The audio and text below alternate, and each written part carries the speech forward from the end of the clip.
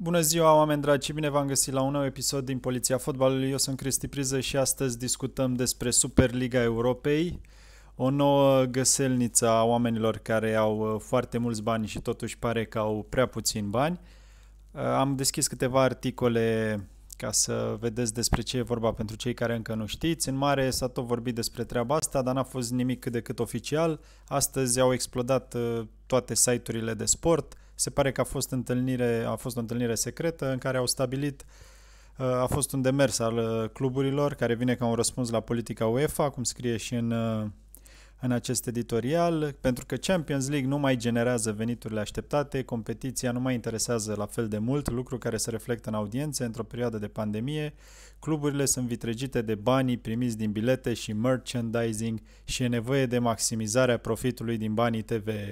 Bani, bani, bani și iarăși bani, pentru că încet fotbalul moare, fenomenul moare încet, dar sigur, e vorba doar despre bani, doar despre sume astronomice, doar despre profit și mai puțin despre suporteri, despre pasiune, despre echipe, despre trăiri, totul despre bani.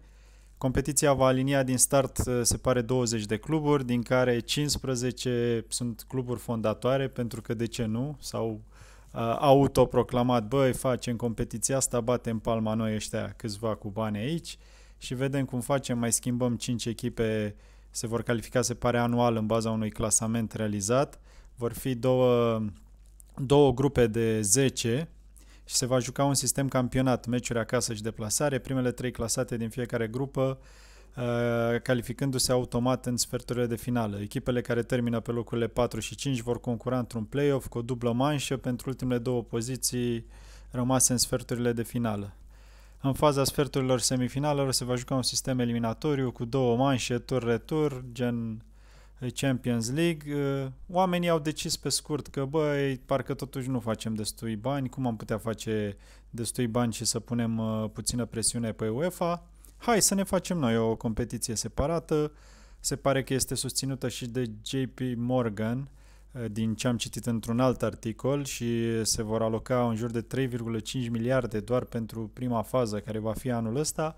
Un haos total. Chiar aștept eh, și punctele voastre de vedere. Eh, vreau să-mi dați niște comentarii acolo. Cum vi se pare ideea asta cu Superliga Europei? Dacă ajută, dacă nu ajută, din punctul meu de vedere este o tâmpenie Uh, dar ușor, ușor, ca în orice domeniu, se vrea un monopol și uh, asupra fotbalului și cei care au bani vor face regulile, dar uh, se pare că o să avem un scandal uriaș pentru că UEFA ia în calcul suspendarea Champions League, adică nu o să ne mai putem bucura, se pare, de ultimele meciuri din Champions League, pentru că PSG-ul ar putea fi declarată câștigătoare la masa verde, ceea ce mi s-ar părea la fel de penibil și o tâmpenie. Se pare că și UEFA vrea să preseze puțin, a dat un, uh, un mic avertisment și a spus chiar că jucătorii care vor participa în această competiție nu vor putea să-și reprezinte țara în uh, competiția lor, ceea ce ar fi...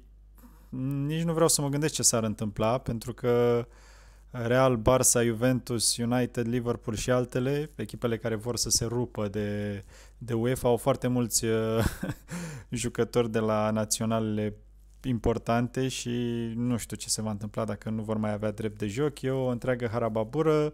Uh, pare că ei deja au bătut palma pentru Superliga Europei, dar mă întreb dacă uh, nu vor mai permite cei de la UEFA vrea să suspende în primul rând Champions League și Europa League și vor să facă o ședință. Dacă UEFA face treaba asta, ce părere au suporterii, ce părere avem noi, oamenii de rând, adică oamenii ăștia pentru bani pur și simplu pot să să-și bată joc de istorie, de aceste competiții, de trofee, să-și facă ei pur și simplu, păi nu mai vrem, păi și ce o să se întâmple? Nu că oamenii vor veni după noi și uh, vor veni după echipele mari. Nu știu dacă e chiar așa, pentru că cine stabilește care sunt echipele mari? Am văzut că uh, Uh, Bayern nu vrea să participe acolo. Bayern nu e echipă mare sau cum facem? Am văzut că Dortmund la fel nu vrea să participe în mare, echipele din Germania nu vor să se bage și e un întreg scandal. Pe ce baze stabilești tu? În funcție de bugete?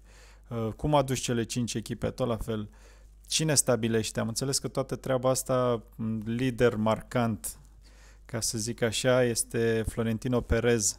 El a a pus la cale toată treaba asta, dar uh, va fi un scandal enorm. Repet, mi s-ar părea penibil ca PSG să câștige Champions League uh, prin suspendarea celorlalte echipe aflate acolo, pentru că este singura care nu se bagă în mizeria asta de proiect.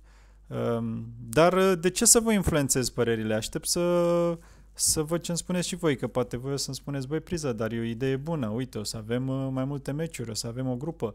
Dar gândiți-vă că nu mai există, întotdeauna fotbalul s-a bazat pe victoria este răsplătită și înfrângerea în mare a fost cât de cât pedepsită de-a lungul timpului prin uh, retrogradări și așa mai departe. În această grupă uh, nu o să avem parte de așa ceva în aceste grupe, o să avem parte doar de, da, multe meciuri între echipe mari, dar fără miză, adică vor fi multe meciuri pe bani mulți, exact cum boxul acum se transformă în meciuri între uh, uh, un boxer și un tip care face YouTube sau uh, un profesionist și un tip care nu are nicio treabă cu sportul, tocmai pentru bani. Și ăla nu se poate numi box. La fel nici fotbalul. Dacă vom vedea uh, Liverpool-Real uh, Madrid dar fără nicio miză în care miza va fi doar câteva sute de milioane de euro câștigate de cluburi, eu zic că fotbalul nu o să mai aibă niciun sens și audiențele vor fi din ce în ce mai mici. Uh, UEFA amenință Cluburile avem aici, în, uh, aveți pe ecran un uh, update de ieri de la 8. Uh, Federația Spaniolă, Federația Serie A au trimis o scrisoare vehementă imediat după apariția privind noua competiție, măsurile cu care UEFA amenință.